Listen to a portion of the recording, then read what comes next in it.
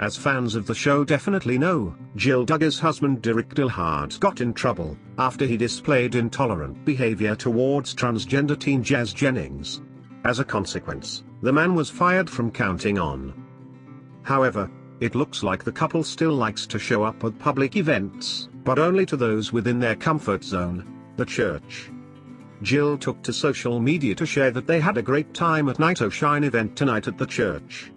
We were in the red carpet, paparazzi team. So fun. At Cross Church. The woman did not explain what exactly the red carpet team was. However, their Arkansas Cross Church's website stated that, this wonderful event is to celebrate and love our neighbors with special needs.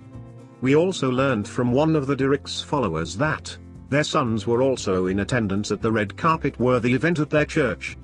I was right beside you all last night. Seeing such happiness on all of your faces, what a joy to be a part of. I hope all of the participants had a night to remember. Your babies were so sweet, and well behaved too, the fan wrote. But of course, Jill's newest post was not only well received as some fans seemed let down by the family's choices lately. It looks like your church has a lot of events that do not have anything to do with God, Jill, and Derick.